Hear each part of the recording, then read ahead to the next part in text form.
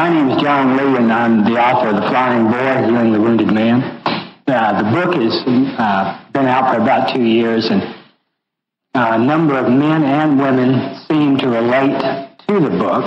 It's uh, more, obviously, more than a story about myself and my own journey uh, into recovery from uh, being a flying boy.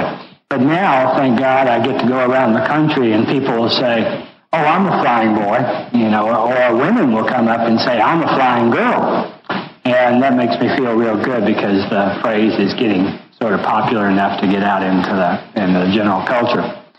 But a lot of people wonder what a flying boy or what a flying girl is and, and what the state of relationships are today and what's happening with men and why men are always so unavailable in relationships.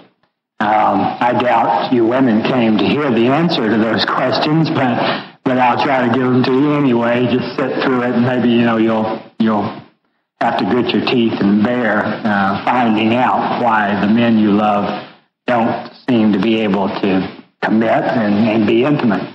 One of the main things that I've seen is over the years of studying psychology and psychiatry is that there's been a tremendous emphasis on um, how to make relationships work without really looking at the man's side of it. You know, you have to understand that modern psychology was built on and founded on understanding feminine psychology. Freud's patients were women. Uh, even the the national average now is seven out of ten clients are women. And so we have a good deal of information about the uh, feminine psyche, don't we, guys? I mean, they say that in lectures, and there's lots of books out there, but I do know that a lot of men are still scratching their heads going, you know, you know, you tend to see this a lot. They just say this one word, and men will say, women. And then they sort of shake their head. And, and women are sitting over in the other corner of the restaurant going, men you know, and we can't seem to ever get it. But there is a lot of information out on women and what's going on with them these days. There's even a lot of information out on men, but most of it's being written by women. You know, and saying this is this is what's going on with men. And I go, how do you know? You know, and how do you really know what's going on with us? Well, in the meantime, I've been doing men's groups in Austin, and I've opened the Austin Men's Center there.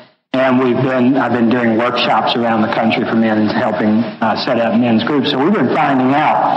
Let me tell you, one of the things that's going on with men today is, is that men are actively seeking to heal themselves in virtually all parts of this country.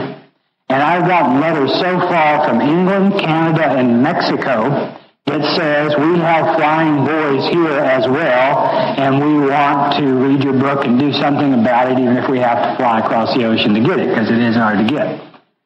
So, this, but so men are working on themselves more than ever before. There's a national men's movement going on now. It's it's uh, kind of the same place that the women's movement was 25 years ago. And, you know, we are a little slow to catch on, but, we do get there by and by. Women have been telling us men, why don't y'all get together? you know, and talk and, and, and share with each other. You know why men don't get together and talk? It's because men are afraid of men. Men are very afraid of men. I'm even talking about the men who are conscious, healthy, uh, reading men. By and large, men are afraid of men. And what women don't understand is why would that be so? Because we as women are not that afraid of other women. Why are we also afraid of each other? The answer may lie in the fact that us men, most of us, were scared to death of our fathers is absolutely scared to death. Or, if not scared to death outright, we didn't have any fathers there to be scared of. They were gone. Where were they? Work, alcohol, more work, dead, emotionally dead, spiritually dead, but they would put clothes on their back, food in her stomach, and send us to college and hope that we would have a better life than they did. Only to end up with a life in spite of ourselves and in spite of them, very much like the life that they lived. You see, you want to know one reason why men cannot commit to you women? It's because men do not have a model for what that would look like except one. One model. Mom and dad. Most men long for tenderness, long for gentleness, long for affection, and to give and receive equally. But most men were raised in a culture that said, this is not what men do. My dad held my sister's baby like this, arms extended, and his hands were shaking as she placed that infant in his hands.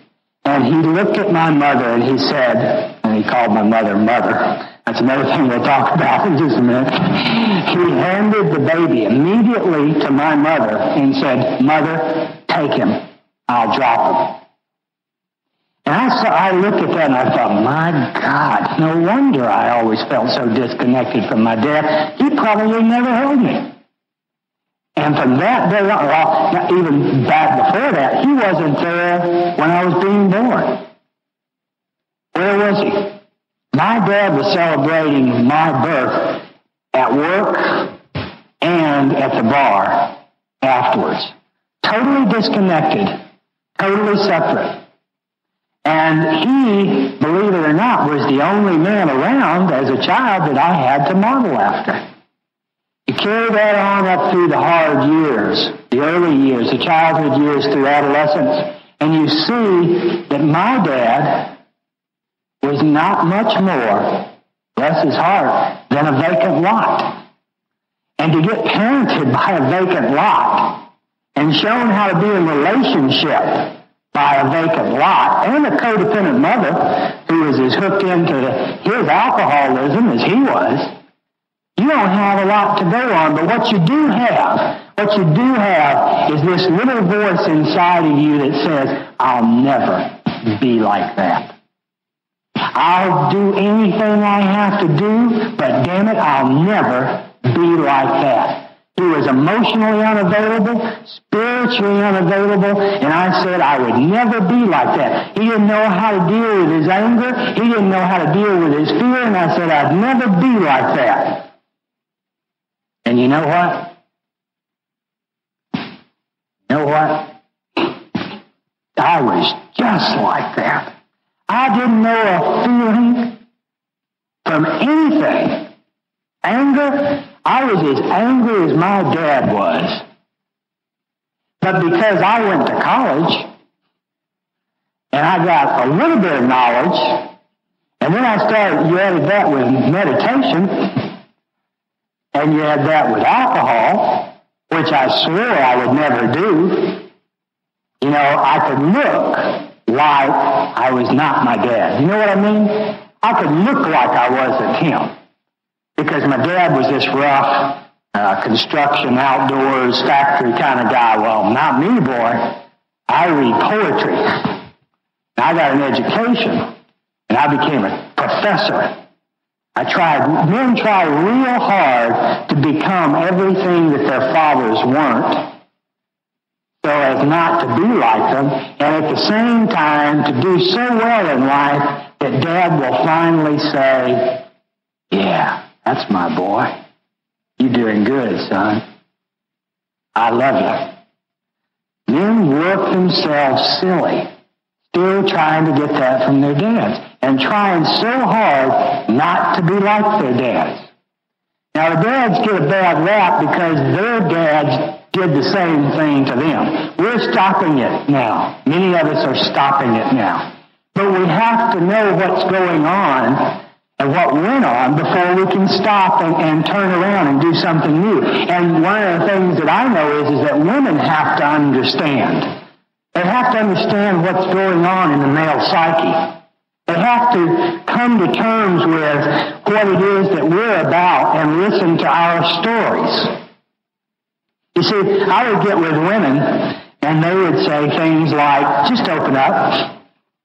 Just open up and come from your heart. I go, where is that? Where is that? My boots? Where is my heart? I don't have a body. I've got from here up, my neck up. That's what I've got. Because if I go from the neck down, what I've got is pain. Lots and lots and lots of pain. Right here in this body. So if you give me enough alcohol, you give me enough work, you give me enough sex, you give me enough nicotine, I won't have to feel this pain in this body.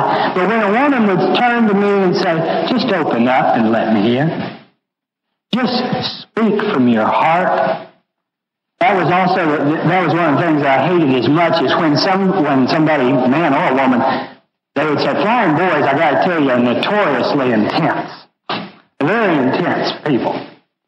Most men, they'd say things like, John, man, you need to lighten up. I go, how do you lighten up? People keep telling me that. How do you lighten up? And they'll stop saying it. They say, see what I mean? Right there. That's what I'm talking about. Lighten up. And I go, oh, man. That happened. The other thing I hated the most would be after a trip home. I always try to put off taking my girlfriend home as long as possible. Because once I did, I was always sure to hear this one phrase that would almost bring out the killer in me. Two weeks later, after a visit home for Christmas, I'd hear this phrase. You know who you remind me of? I go, don't say it. Don't you say it. She go, but you know. you know who you remind me of. Yeah, I remind you of my dad. I remind you of my dad. Why? Because I'm my father's son. As much education as I got, as much poetry as I read, as much meditation as I did, I was still my father's son. Now, you guys know, if you guys, the guys that are over 30, you know that every year that goes by, you begin to walk like them a little more. you begin to sound like them a little more. You begin to dress like them a little more. And you go, you know, when I was 15 or 20, I, I'd do just the opposite. I'd grow my hair down to my back, you know, so I wouldn't be like my dad. But now I go walking down the road and I say something, something comes out of my mouth and I go, where's Dad? you know, I realize, you know. Now there's a part of that that I'm I'm lucky enough to be in, uh, long in my recovery enough to be able to embrace and cherish. But there's also a part of that that I had to treat as a woundedness, as a deep woundedness. The other thing that had to be treated as a deep woundedness about the father and son deal before a relationship with a woman can be had is just how much it hurt, just how much it hurt for a boy to grow up without his father. To grow up without his father. You see, Robert Bly, a teacher of mine, once said, and he quoted a German psychiatrist, it's a, it's a phrase that we use here in the codependency and ACA circles, but the psychiatrist back in the um, early 1900s said, where the father is not, there develops a hole in the son. There develops a hole in the son. I don't know about you guys, but I know I had one because my father wasn't there, and there was this big gaping hole that I had to try to fill with something that the father was supposed to fill.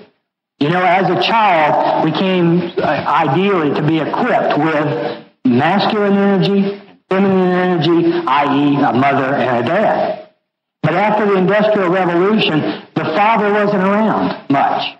He had to work. He had to make money. Before the Industrial Revolution, most dads were there. Did you know that? My, even, even during the time of my grandfather's life, my dad had a dysfunctional relationship with his father, but he was there. Do you understand what I mean? My dad could smell his dad, see his dad, hear his dad, because he was out in the barn. Know, he was out in the field.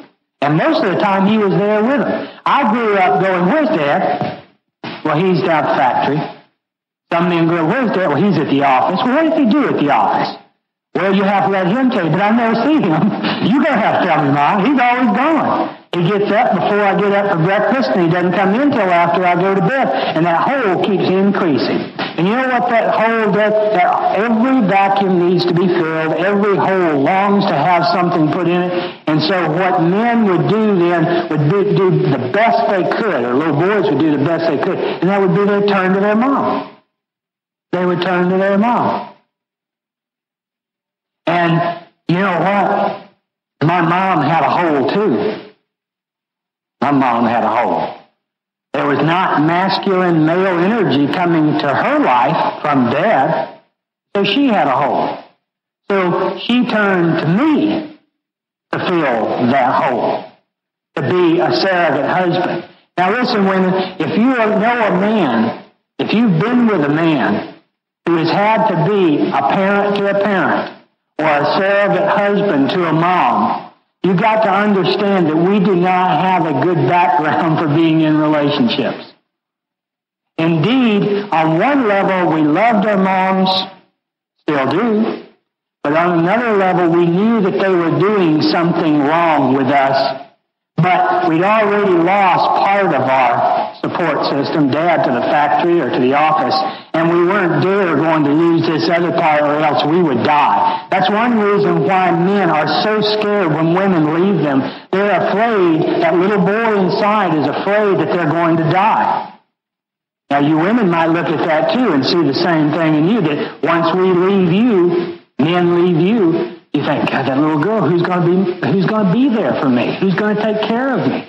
Who's going to nurture me?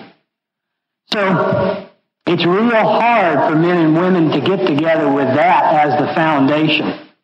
Now there's, ex, there's um, exemptions to this rule here, but where the father was not, the mother very often was there too much. Was very often there too much for her own neediness and because I had to learn how to feel, how to deal with life, not through dad. My dad was in charge of fixing things that had motors attached to them. Okay? My mom was in charge of feelings and emotions. So if I wanted to know how to fix an Evinrude, I could go to dad, but if I wanted to deal with the feeling side of my life, the emotional side of my life, I had to go to mom, but guess what? At 10 or 12 or 13, that's beginning to break down. Because a lot of what I'm feeling and going through is about the same thing that mom's got, which is mammary glands. Right? So at 13, little boys don't go to their moms and say, look, uh, something's happening here and I don't know what it is. I tried to talk to dad about it. He said if it's got a motor attached to it, he can handle it. I said, well, I think it does. It does get wound up and cranked up sometimes and feels like an engine's running it. So, but then he wouldn't know what I was talking about. So, and then I, he said, go talk to your mom, you know. And I go, oh, no, man, I can't do that. You know, I think it's something to do with the problem of women anyway, you know. So we have a real, real hard background to come to women with and hear them say, open up. Open up. Speak from your heart.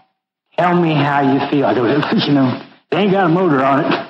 I don't know, know I can help you. Right? Speak from your body. You see, the other thing, women and men, men, you already know this, if, and, and women, you probably do too but little boys got shut off from their bodies at an early age. Those of us growing up in our culture really did. You women did too.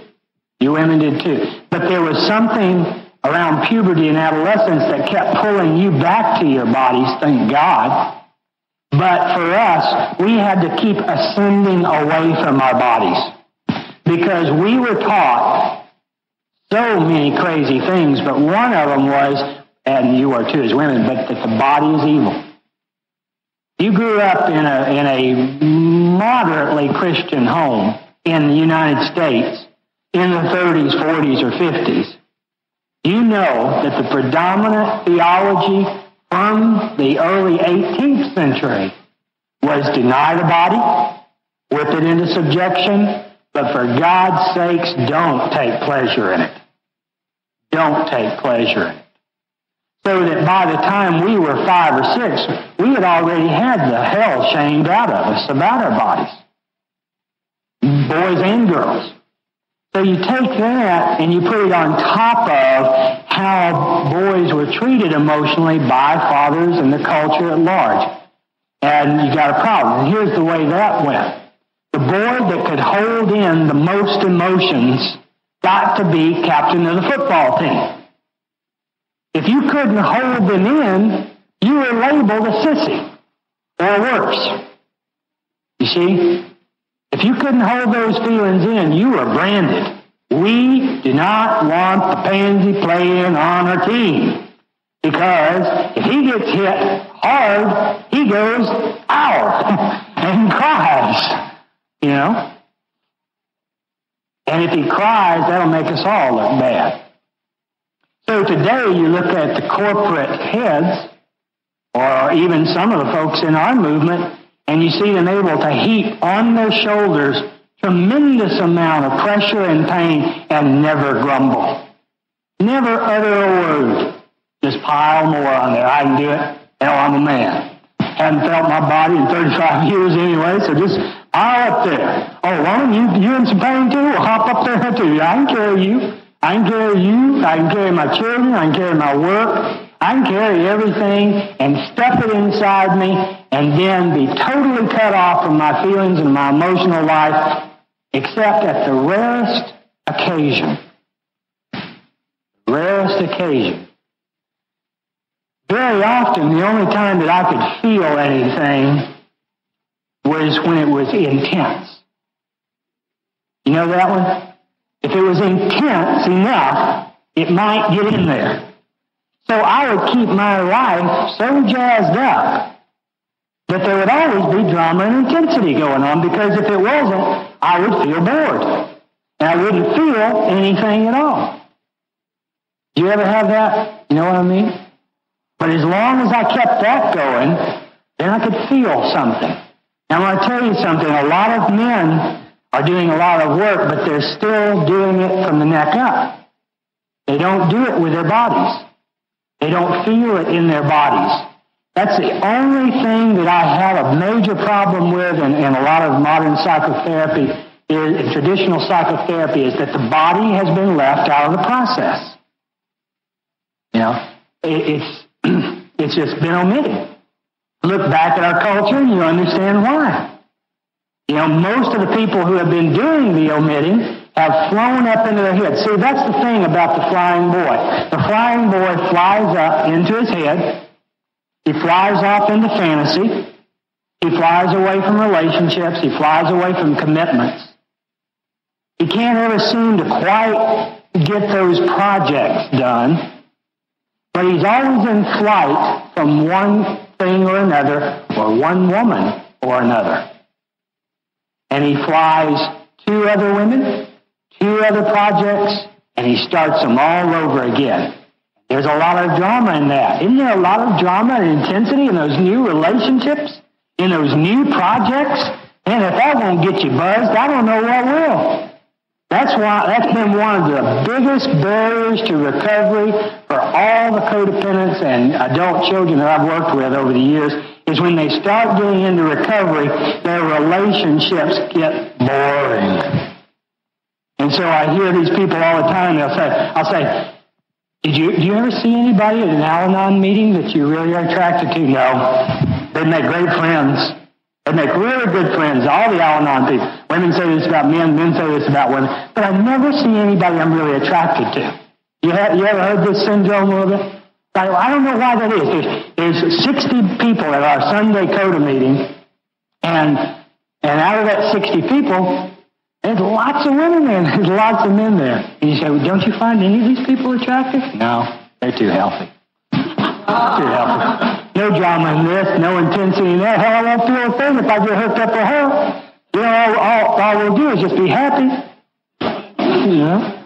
It'll be too smooth. You know, and that, oh, God. You know, what would I do with that? I grew up in hell. You know, I, I can't be dating somebody where I'll be happy. You know, besides that, you know, I need the jazz, I need the excitement, I need the juice, because if I don't have it, I won't feel much. I just won't feel much. And we grew up in such intense uh, situations and circumstances that, you know, we really, we really thrive on that intensity and that darkness and that pain and that powerlessness. You know? And many of us still have this notion of is of, well, I'll lose this person I love and then I'll be real creative for a while. You know, you ever have that notion crammed in your head? So I don't know where that one came from. The suffering artist syndrome, I call it, for adult children, is they love to have intense, dramatic relationships and then do what I do with them, and that's turn them into a book after they're over. Right? It works real well, and I got a movie deal out of it and everything. So somebody the other day said, you know, um, there's this real nice woman I want you to meet. And I go, well, I'm, I'm working on another book. I, you know, if I, if I meet her now, you know, I won't be able to finish my creative work. So, I, I decided to turn that around, met her anyway, and I still finished the book. The drama and the intensity and the darkness and the lack of feeling from the neck down, the neck down, is real important. I got to tell you, part of my recovery has been and the work that I've been doing over the years has been in emphasizing the body, the feelings, what's going on in the shoulders, the back, the buttocks, the legs, the feet, the stomach. Uh, I'm doing training therapy, uh, training sessions for therapists now around the country, trying to teach folks how to become aware of the body in greater and greater ways, deeper and deeper ways, because the body will tell us when we're in codependency and when we're not. But everybody's so cut off from it that no one really knows. They go, am I being codependent now? Well, if you had the, your stomach back and you felt that twist of a knot, you know, you would know. Do you know what I'm talking about? But men don't have their bodies. Here's another reason, ladies and men, why we didn't, why I didn't have my body, and I, I'm lucky to say now I, I, I'm in it a lot. The one reason why we didn't have it is because this body got abused, got severely abused. And abuse can only be compensated with disassociation and diminution of that pain, right? A dismissal of the pain. See, a lot of the men sitting in this room right now got hurt physically a lot as children. How many of you got a whipping as a boy with a belt or a switch? Nearly every man in here. Nearly every man in here. You know what that'll do to the body? You know what that alone will do to the body? It'll freeze it up. Because when a kid is being switched or paddled or hit with a broom or, or hit with a fist, or hit with a coat hanger, body stops breathing and it goes, and it stops and it tenses everything in the body. You know, you don't see kids getting beaten going, yeah, I'm breathing, just keep hitting me.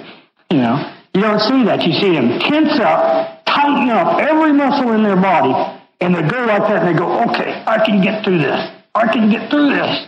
I can do it. And they can. We did. That's how we got here. We got through it. But in the process, enough of that caused us essentially to be walking around like this, always unsure when the next blow, emotional blow, physical blow was coming. Now, you women got that too. Many of you women got that. But nearly every man in here raised their hand and said, I got that. Now, something that a lot of people don't understand, though, is, is that bodies freeze up and armor up like that when somebody rejects them, ridicules them, criticizes them, demeans them, or demoralizes them. The body stops breathing and holds it in and waits until it's over. So it seems like so many adult children that I work with are kind of in that position of like, wait until it's over. You know, just kind of gritting their teeth and waiting until it's all over. Wait until the fun begins and the hurt stops. But adult children who grew up in dysfunctional families keep perpetuating the hurt over and over and over again, and it doesn't ever seem to stop. Because they keep recreating the relationships that they had with their mothers. But most importantly, women, and this is something you need to be aware of, you men too, most importantly, men will keep creating relationships with women that remind them at a very deep unconscious level of their fathers. Of their fathers. And men go, wow, is that true? Well, you can think about it and make your own list. I ask people at workshops all the time, I go, write down all the ways that your last girlfriend or wife reminds you of your mom. And they go, oh, that's easy. It's this way, this way, and this way. I said, now make a list of the ways that she reminds you of your dad. And they go, my dad? Well, she doesn't remind, you she's this way and this way and she's this way and this way and this way. Very often for life. So those more of us who are more educated and sophisticated, we just go out and find an opposite partner that will remind us of both of them a lot of the time so that we can work on our stuff and get through it much more quickly. But if we don't do that, see how many of you have gone out, you men, see how many of you have gone out and got with a woman that was like your mom, let that play out for about three or four years, learn what you could learn from that. And then the next woman, she wasn't like that at all. She was a 180 degrees opposite. And lo and behold, it'll probably be like your dad. And then you go, oh, this ain't too cool. I left my dad at 17, so I need to go find somebody else. And you see, one of the things that happens to men particularly is they go out and they recreate those relationships looking for the mom and the dad, looking for the love. You see, there's a thing about us. If you remind me at a very deep unconscious level about my dad, and I can get you fixed or changed or get you to love me, you know what that's like? That's almost like getting my dad to do it. It's not exactly the same, but in the psyche, it's real close and it's real satisfying. That's where so much codependency comes in in counselors' situations. We can't, we couldn't fix our family, right? So by God, we'll just take on Texas. you know, I can there. I said, also codependent adult children are kind of retarded like their dads in some ways, you know? It's like I'm, I, I couldn't fix everybody in Alabama, so I moved to Texas, you know? I should have moved, if I'd been smart, I'd moved up to Rhode Island or something. I moved to Texas. And I realized I started looking at that thinking, and I got that from my dad, because it, my dad was kind of retarded in those ways. he especially was retarded in the areas where he would say things like one of my favorite um, retarded phrases of his was when he'd be beating the shit out of me, he'd be saying things like, stand still, stand still. you know, and I go, you're crazy. oh, stand still, you know? I, mean, I say, well, how weird are you? And then the other favorite phrase, you know, he'd say, he would always say, you know, this is hurting me more than it's hurting you. And I go, God, you are, you got the IQ of dirt. How can you be saying this? This is hurting you more than it is me. You and there, there's a couple of other favorite ones, but uh, the other one, Joe thought that the other one was, uh, he'd just do something or beat the crap out of me or something, you know, and he'd say, um, now stop crying, stop crying. If you don't stop crying, I'm going to give you something to cry about. Go, what you just did? Stop, please, get me off this train. You know, this is just going crazy. So we got all that abuse in our background. That freezes up the body. That keeps those feelings frozen in there. And then we get with somebody who says, thaw out, thaw out, open up, tell me who you really are, tell me what you really feel.